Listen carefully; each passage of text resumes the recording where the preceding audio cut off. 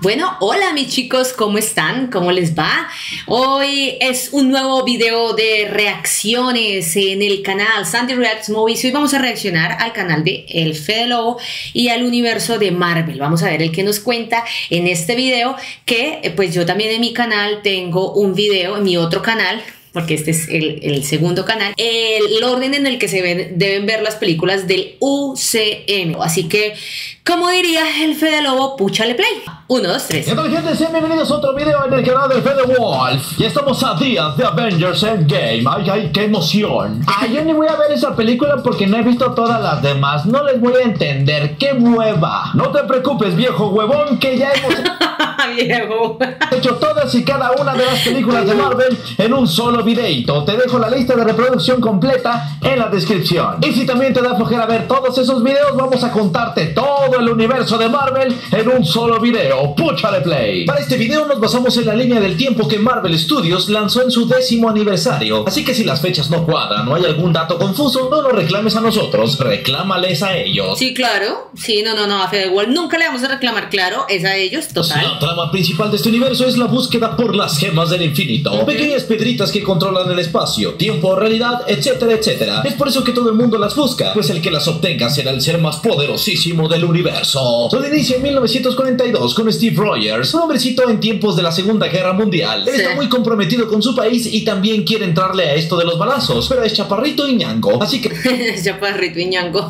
Es que muy chiquito y muy flaquito, sí. Pero muy chévere ese CGI que le hicieron a Steve Rogers, ¿no? Bueno, a Chris Evans. Todos lo rechazan, todos menos este científico al que Steve le cae muy bien y lo mete al programa del super soldado. Le inyectan un suero que le da superpoderes, super fuerza y super pechos. Steve se pelea con este... Super pechos.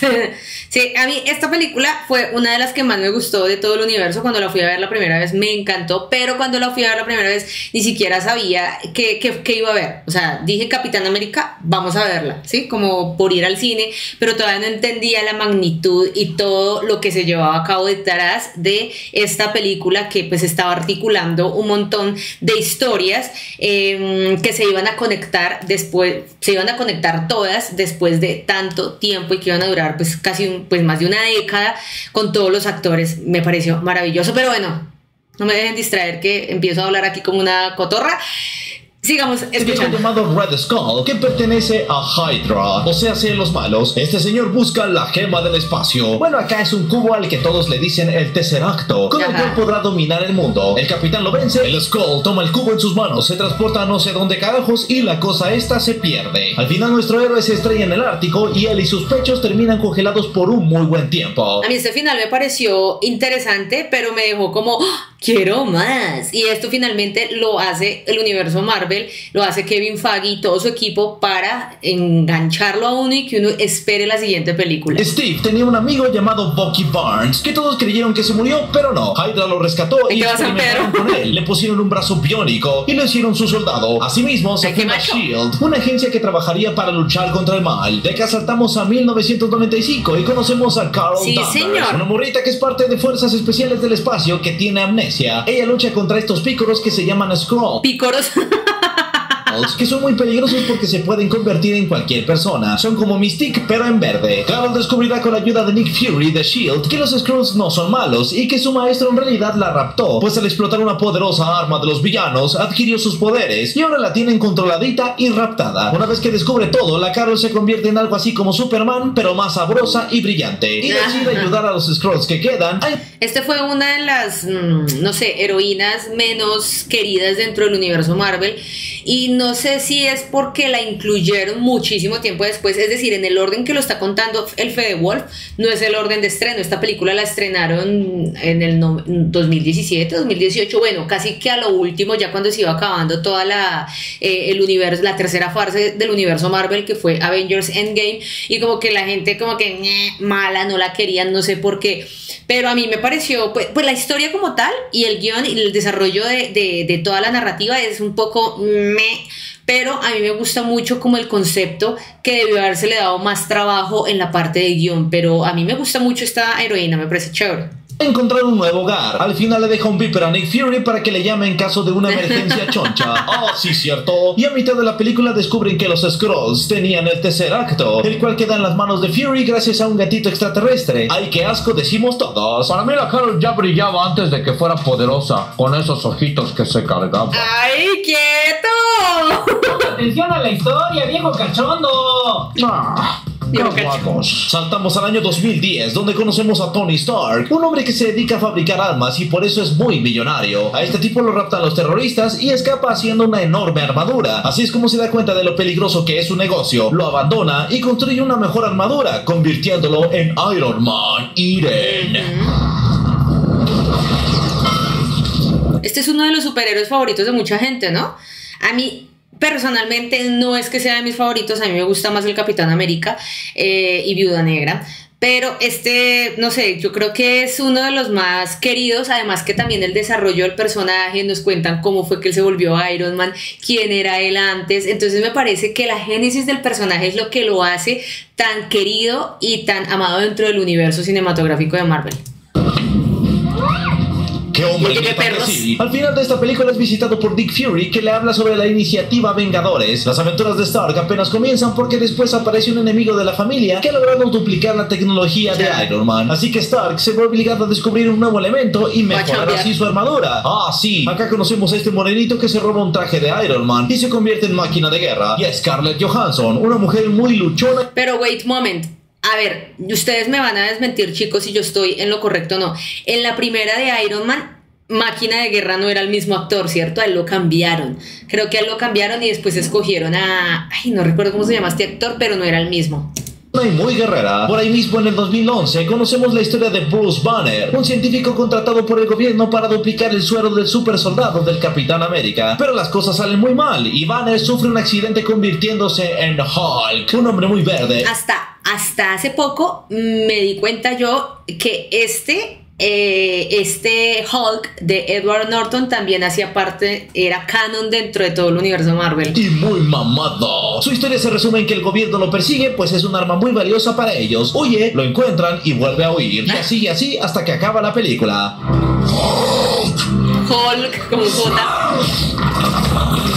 En este mismo año nos vamos al espacio y conocemos a Thor, un hombre muy rebelde y muy mamado que todo el tiempo le rezonga a su papá Elodin, que por eso se cabrea y lo envía a la Tierra sin poderes hasta que aprenda a ser humilde. También conocemos a Loki, hermano de Thor, que es adoptado Ajá. pero no lo sabe y cuando después se entera, se cabrea y arma un plan para matarlos a todos. ¿Se Thor se hace muy humilde, regresa a derrotar a su hermano y Loki queda perdido en el espacio. Ah, pero este muchacho es canijo, sobrevive y se entera de la existencia del tercer acto, así que platica con un viejo morado que se llama Thanos, que quiere el mentado cubo S. Loki promete conseguirlo, pero a cambio de que lo ayuden a conquistar la Tierra. Lo que quiere es el Thanos ese. Es un personaje importante. Por favor, explícanos, ándale. Thanos es el villano principal de este universo, que busca las gemas del infinito para cumplir su objetivo, el cual te vamos a contar más adelantito. Por ahora vamos al año 2012. En este año todos se reúnen gracias a Nick Fury. Ah, sí, cierto. No hay que olvidar que Shield, de pura casualidad, encontró el cuerpo del Capitán América congelado, que logró sobrevivir hasta estos años. Ahora sí, todos reunidos, todos ¿Qué dice? pelean con América congelado. ¿Qué dice? sobrevivir Yo soy el pro- estos Eh, ¡Ah! Edward Nor- Norton lo corrieron, sí, sí, sí. Tengo entendido, no sé, ustedes también me van a desmentir, que a Edward Norton lo sacaron del, digamos, como que esta franquicia porque eh, hubo como una disputa entre él y toda la productora porque, digamos, él no se ponía de acuerdo. He escuchado presuntamente, no sé qué tan cierto sea, que trabajar con Edward Norton es un poco complicado, el actor es difícil, entonces por eso decidieron eh, decirle adiós y contratar a este caballero eh, hermosísimo, este, eh, eh, este, este actor. años. Ahora sí, todos reunidos, todos juntitos, pelean contra Loki. Se arman los mamazos.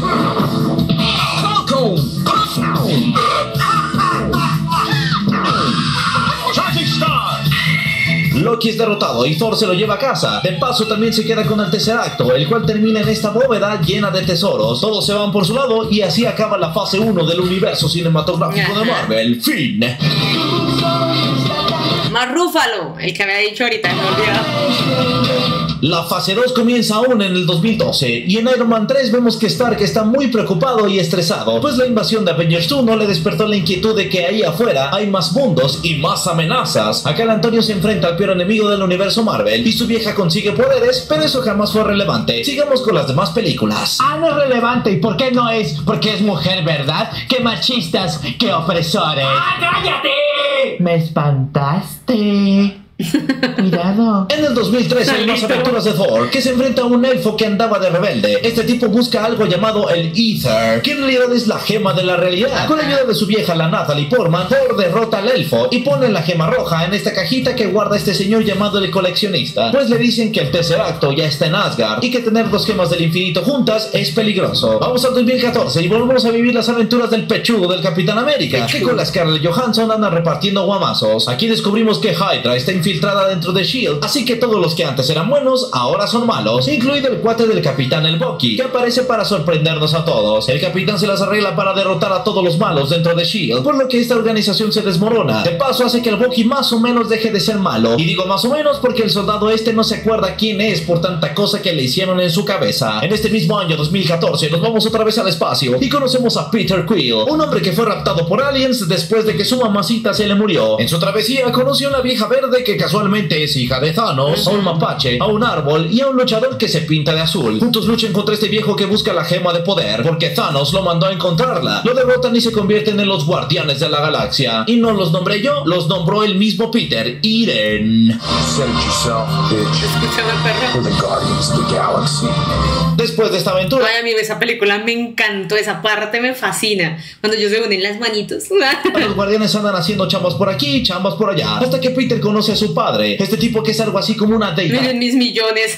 con su propio planeta. Peter anda un rato emocionado hasta que descubre que este señor fue el culpable de la muerte de su mamacita, así que se cabrea y le da de guamazos hasta que Ese es un gran plot twist, ¿no? Porque uno pensaría que, oh, el padre de, de- de Peter, pero no, es un desgraciado. juntos los guardianes lo matan. Pero luego, ¿qué pasó con los Vengadores? Ya no se volvieron a juntar, que se junten, ¿verdad? Se han- Vamos pa' eso, vamos pa' eso, señor del bigote. Con el ¡Dice Avengers! No me corrijas, güey, o si no te voy a madrearte por...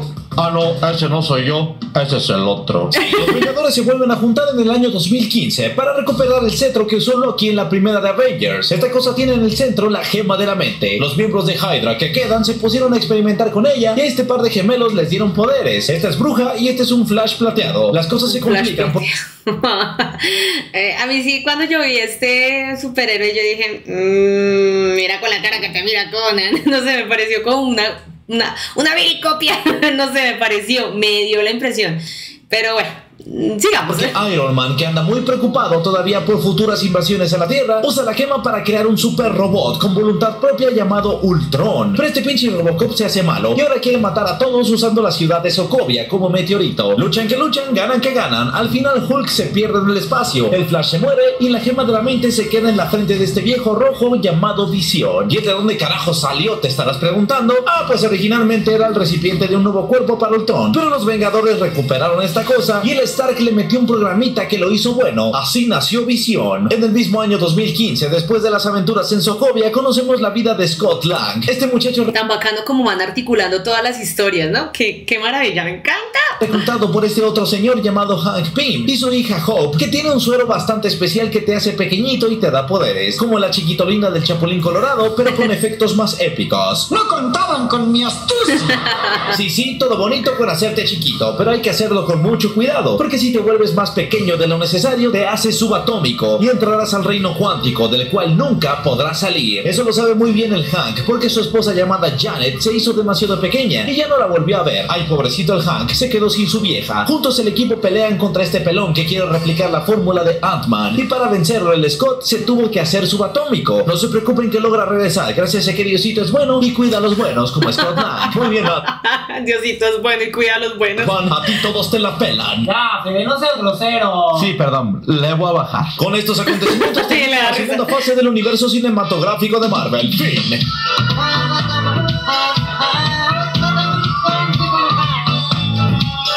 Continúa en el 2016 donde conocemos a este doctor llamado Steven Strange. Genial, genial, genial. Este es uno de mis, me- mis superhéroes favoritos. Más doctor que el Doctor House y que Doogie Hauser juntos. Todo Ah. excelente en la vida de este doctor. No más que por andar checando el celular mientras manejaba, chocó y las manos se le hacen caca. Ay, pobrecito doctor, perdió su chamba de neurocirujano. Creo que este es uno de los mejores películas que tiene, podría decir yo, uno de los mejores gé- génesis, de los mejores inicios de personaje, así como Iron Man. Me encantó esta primera película del Doctor Strange, me fascinó, de verdad, uf, es impresionante. No. Mientras Strange anda sufriendo, volvemos con los Vengadores, que accidentalmente causan la muerte de civiles de una nación llamada Wakanda. Con este acto, el gobierno se cabrea y lanza los acuerdos de Sokovia, donde si firmas como superhéroe, estarás bajo las órdenes del gobierno. Acá se forman dos bandos, el de Iron Man y el de sus amigos, que deciden firmar, y el de Capitán América y sus amigos, que deciden no firmar. Las cosas se complican porque en medio de una reunión con las naciones más importantes que revisarán los acuerdos, una explosión mata al rey de Wakanda y todo el mundo cree que el responsable fue el soldado del invierno. Entonces los del Team. Iron Man pelean contra el Team Capitán. En el equipo de Stark se unen dos nuevos miembros, el Pantera Negra, que es el príncipe de Wakanda, que se cabrea porque le mataron al papá, y Spider-Man, un niño al que le picó una araña radioactiva, se murió su tío, y bueno, ya todos sabemos la historia del Spider-Man. Sí, ya ya. tuvimos como tres películas que contaban su historia. Sí. Al Team Capitán se les une también Ant-Man, porque en su propia película conocía a uno de los compas del Steve y por eso termina acá. Las cosas realmente se van a la ñonga, porque Antonio descubre que el soldado del invierno mató a sus papás en el tiempo que fue manipulado por Hydra. Así que se arman los guamazos.